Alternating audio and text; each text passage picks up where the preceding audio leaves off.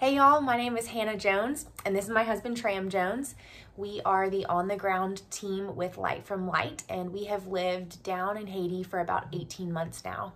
Um, I wanted to send a, a, special thank you to you guys as a congregation for your recent generosity.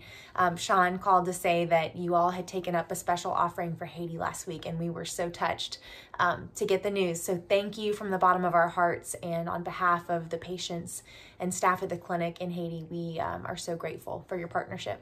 And I think touched is a good word because I think it recognizes what the clinic's been doing, working uh, in a really tough environment, even after the assassination, open every day, um, just a few days after the assassination. Mm-hmm.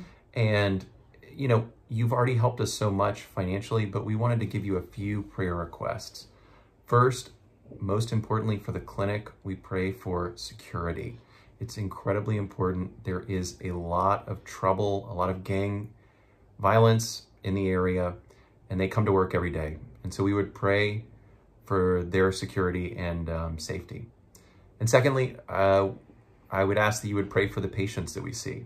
They're having challenges, especially with getting enough food in the city uh, and in the capital of Haiti. Um, just be in prayer for that. And then lastly, pray for the country of Haiti as a whole.